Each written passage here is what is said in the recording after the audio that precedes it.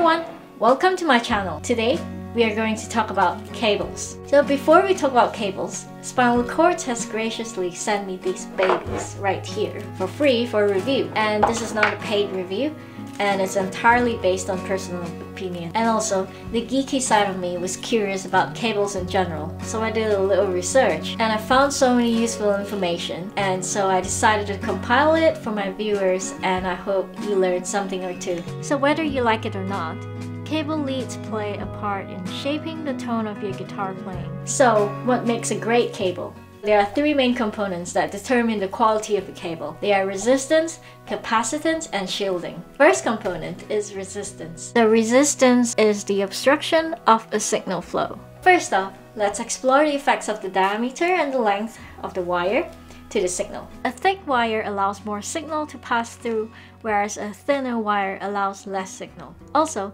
the longer the length of a wire, the greater the resistance, because there are more collisions of flowing electrons in the metal. Basically, they lose more energy.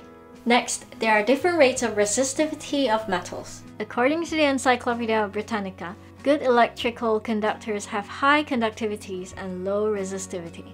A lower resistivity means you will need less of a metal to reduce the resistance to an acceptable target. Although silver has low resistivity, it is an expensive material, so most cable maker uses copper. So next, we are going to talk about capacitance, which affects your tone more than you know. According to Sweetwater, with cables that are paired, the two conductors with insulation in between form a capacitor, which holds an electrical charge. The capacitance is really small. However, it could compound over the length of the cable, which get multiplied by a great amount.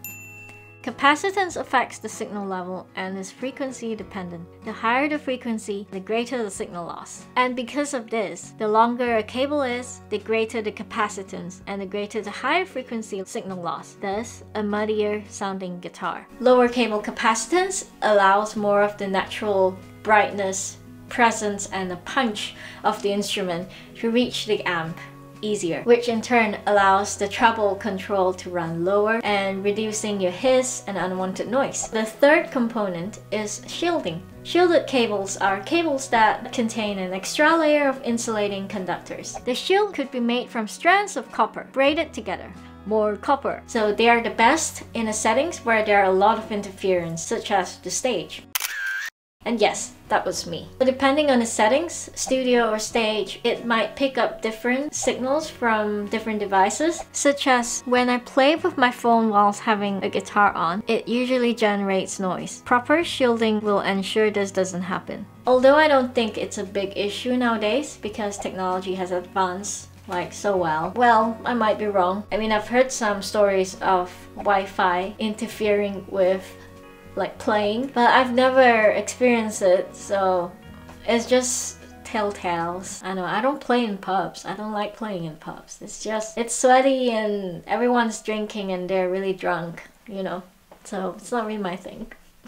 in a nutshell, a great cable is one that keeps the resistance and capacitance as low as possible and have a proper shielding on the outside so that it doesn't compromise the characteristics of your tone. So the cable that ticks all those boxes are the cables right here. The Spinal Cordz. Dominic, the founder of the company, sent me these, um, two of these cables. So this is the candy red, which is my color. Uh, they are the original uh, Spinal Cordz and this is the new one, latest edition. It's called Artist Series. I've been using this close to a week from this filming and it does what it does, it does what it says and it does it very well. That's what you want from a cable. That's what guitarists want.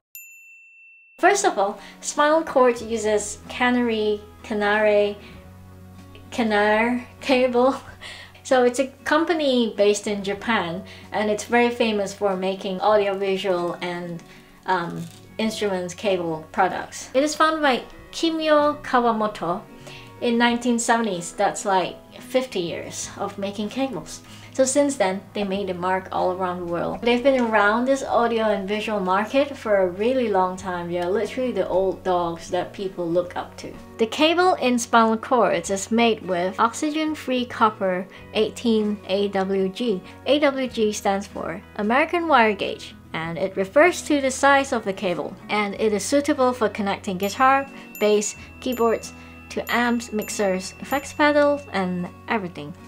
Basically, everything is good for it. So I was asking Dominic about resistance on the cable and why is it important. So he was saying that most cheaper cables um, not this, but the cheaper cables in general, they have greater resistance because they want to save costs. That's, that's the main thing. They get lower quality copper with loads of like impurities. Even if you're using a good guitar, a good amp, or a good pedal, it will still have a greater degree of noise. Dominic ran a test with the multimeter to find out the resistance of a cheaper cable and a Spinal Cordz cable.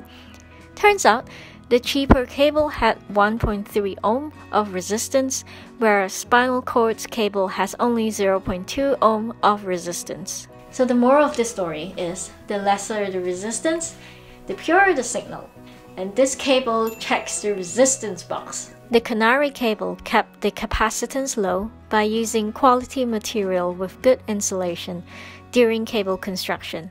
This improves the frequency response of flat to 50 kHz, which gives the tone a bright, ringing, characteristic sound even when you use a high impedance guitar pickups with long cable runs. This checks the low capacitance box. The Canare offers double shielding, copper braided net, and black carbon insulator. The proprietary double carbon braided copper shield eliminates microphonic handling noise especially on stage where amps are often set at maximum levels. It checks the shielding box. Next thing we look at is the plug. Spinal Cordz uses Neutrik, which is a very familiar name in the gear industry. The latest product release on Spinal Cordz is the Artist Series, which is this black baby right here. Artist Series is a silent plug that automatically mute an instrument cable to avoid pops and squeals when plugged out or changing instruments, like this. The PX Silent Plug features a rugged metal shell enhanced with a rubber cushion overlay for improved shock protection. So it is very very durable. I think that this cable actually wins in terms of plug wise. So in the past, I had cables that has the same idea but they have a button like a kill switch thing. Sometimes if you forget to click it, you kind of risk this awkwardness of playing and nothing comes out. So that is very awkward. So lastly, we have to talk about this funky red sleeve. It's just the funkiest color ever. Like I chose red because red is my color, don't you think so? So this sleeve is made by a company called TechFlex with polyethylene terephthalate or just known as PET. The range of colors that Spinal Cordz offer are tangerine, cobalt blue, bumblebee, candy red, cherry blossom, frost white, graphite, raven black, and seafoam green. The Spinal Cordz cable is a premium product and it wouldn't undermine your tone or your wallet. And they handmade every single order and you can customize to your liking. You can customize the color, the angle of the plug, and also length of the cable to your liking. I think that they should make a sparkly one for me with my name on it. Yes. I think there isn't really a, much of a downside when it comes to this cable. It's really durable and I've only owned it for a week so I'm not sure how long does it last. I mean judging by the quality of this I know that it will last really long time. I think uh, in terms of quality and materials, I can't really judge it because it's like literally the premium, the best materials that you can get out there at the moment. But I think I would really like an option to customize the plug. Um, so this is black and gold, which my that's my favorite color. And I would prefer it if it's a black and gold for this red cable that they sent me.